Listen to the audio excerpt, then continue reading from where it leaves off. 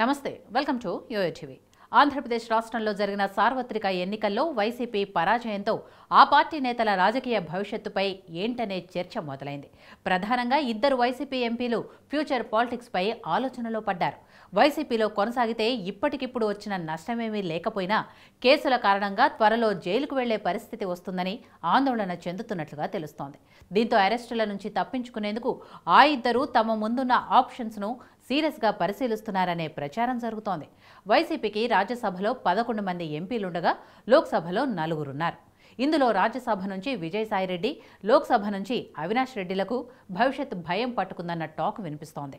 జగన్తో పాటు అక్రమాస్తుల కేసులో విజయసాయిరెడ్డిపై అరెస్టు కత్తివేలాడుతోంది.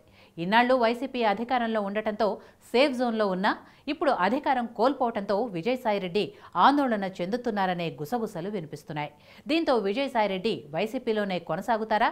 వ్యూహంలో భాగంగా తాను సేఫ్ జోన్లో ఉండేందుకు బీజేపీలో చేరతారా అనే సందేహాలు వ్యక్తమవుతున్నాయి. మరోవైపు వివేక హత్య కేసులో ఆరోపణలు ఎదుర్కొంటున్న అవినాష్ రెడ్డికి కూడా భవిష్యత్ బెంగ పట్టుకుందని అంటున్నారు. రాష్ట్రంలో టీడీపీ అధికారంలోకి రావడంతో ఆయన్ను ఎలాగూ వెంటాడతారు.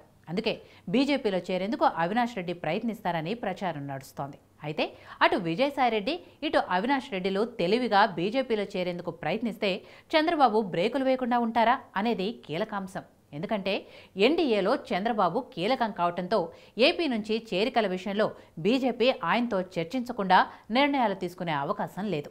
దీంతో ఆ ఇద్దరు వైసీపీ నేతలు ఫ్యూచర్ పాలిటిక్స్ ఆసక్తి రేపుతున్నాయి.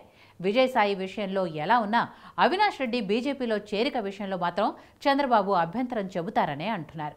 ఈ చేరికలు జరుగుతాయో లేదో తెలియాలంటే కొద్ది రోజులు వెయిట్ చేయక తప్పదు.